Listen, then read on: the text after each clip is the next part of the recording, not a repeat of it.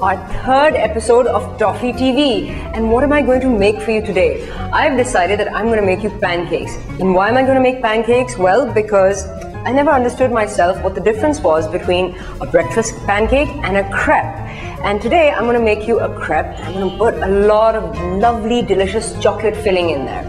So, how do you make a crepe? The word crepe comes from Latin, and the word in Latin is crispus. Go check it out because I will ask you this question at the end. Okay, now to make our crepe batter. First things first, grab a tablespoon and then in your bowl add in 4 heaped tablespoons of white flour or maida. Next, we're going to add in half a cup of milk, which is about 300 mils.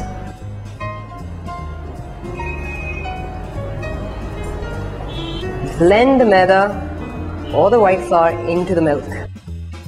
You must blend it so that all the little knobbly bits or the little gutlis as we call them in Urdu disappear.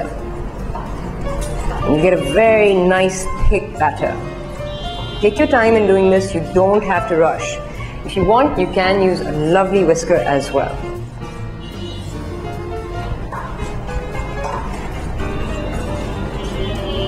Once all the knobbly bits begin to disappear, you're going to add in a tiny pinch of salt into your batter.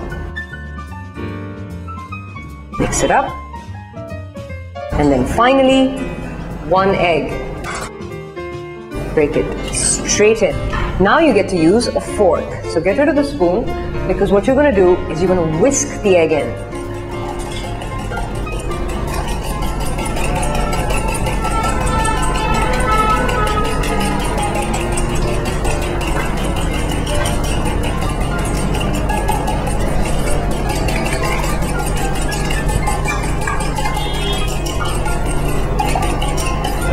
And finally, for a little secret, which I don't tell anyone, but I'm going to tell you on Toffee TV, I add a little olive oil into my crepe batter. So, literally one teaspoon.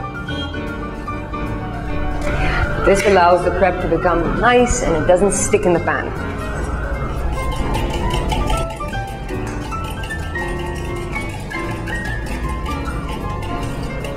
Now, as you can see, I've got this lovely thick batter and there are no little knobbly bits in it. Next step, frying pan.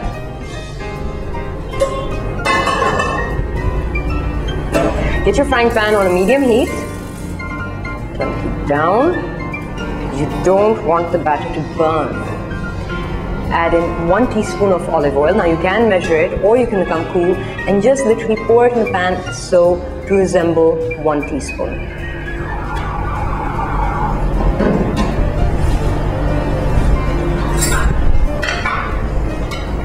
After you put in one teaspoon of oil, you're going to put in one heaped teaspoon of butter.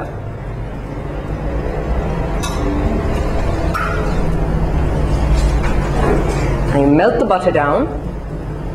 And as you can see, I'm sort of swirling my pan. And what that does is it gets butter on all parts of the pan.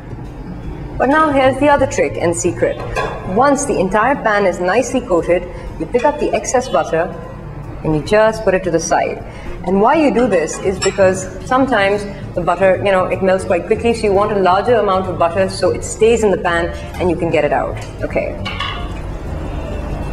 Now our butter's sizzling away. So we're going to take a little bit of our crepe batter and pour it from the center in a circular motion in the pan. Look at that. Swirl it a little bit. Make sure everything is nicely coated and you don't get any broken bits in the pan.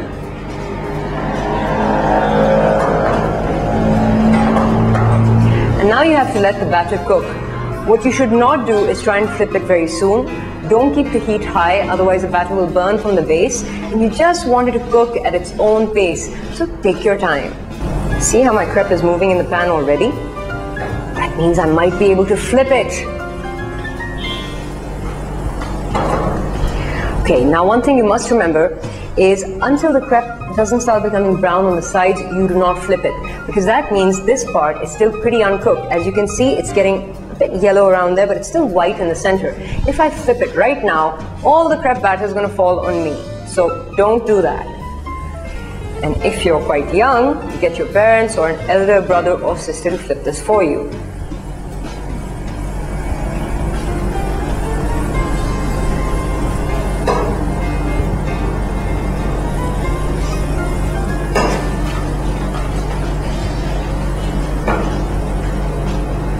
Okay, so now, as we can see, all the color has become this lovely yellow. That means that the batter has started cooking on this side.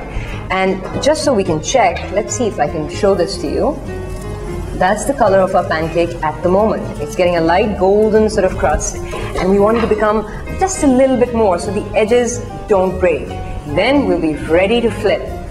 So let's count to 10. 1, 2, 3, 4, 5, 6, 7, 8, 9, 10. If you get to flip your pancake well at home, so please write into Toffee TV and so they can send me that info and give me your name at PCI, which is my culinary school, and then you can come here and teach everyone how to flip pancakes properly. Okay, so now the last minutes. Let's see if we can flip this one more time. Maybe, maybe if we're lucky.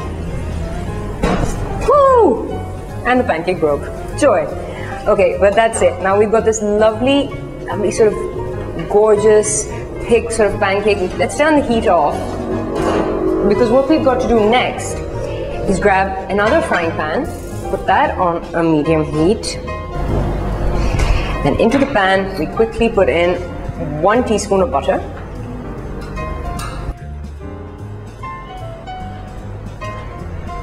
And while the butter melts, we're going to put in three sort of dessert spoons of brown sugar. Now let's melt this down and let the sugar caramelize. So we start getting some lovely brown sugar toffee. And of course, this is going to go into our final topping.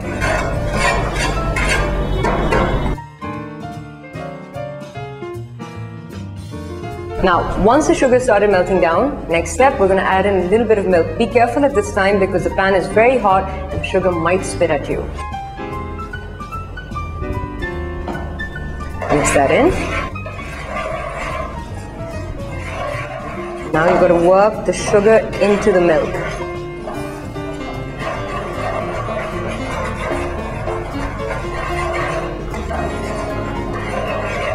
Now we've got this lovely sort of glaze going and it's really lovely with all that sugar and butter and the milk.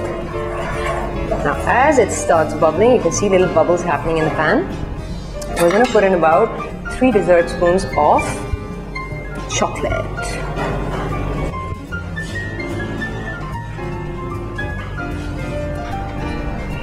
Mix that in. Take your pan off the heat because the chocolate will start melting immediately and you want everything to work in. Now, I tend to use cooking chocolate, but let's say you don't have cooking chocolate at home, you can use, you know, any other chocolate product you want. For example, a commercial chocolate bar like Dairy Milk, um, you can use Kit Kat or something like that. It's up to you. Okay, now once this lovely chocolate syrup is ready, let's just add in a little bit more chocolate for fun. And while that melts down, let's get a plate. Let's try and layer this pancake out onto a plate, not break it. And then all we have to do is drizzle the chocolate into the center, like so.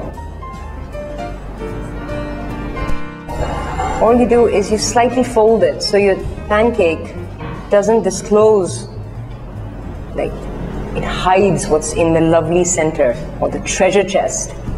Then you take a little bit of chocolate and you just drizzle it on. Then take some chocolate flakes and just sprinkle them all around.